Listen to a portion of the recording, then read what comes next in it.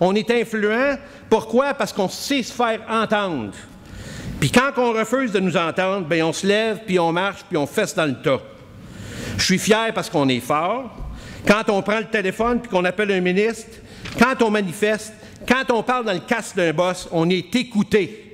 On est écouté parce qu'on est solide, parce qu'on est fort, parce qu'on est partout sur la planète, parce qu'on est représentatif, parce qu'on est proche de notre monde, puis quand on a de quoi dire, tout le monde sait qu'on a vraiment les moyens de se faire entendre.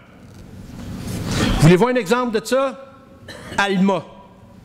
Alors, regardez ce qu'on a réussi à faire à Alma, les amis. 8 000 personnes d'une ville de 30 000, pensez-y.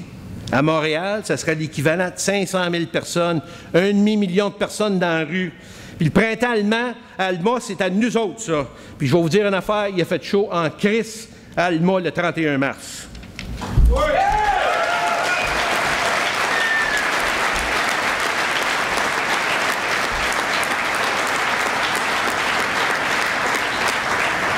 Vous avez de quoi être fier, tout le monde, parce que vous y avez contribué.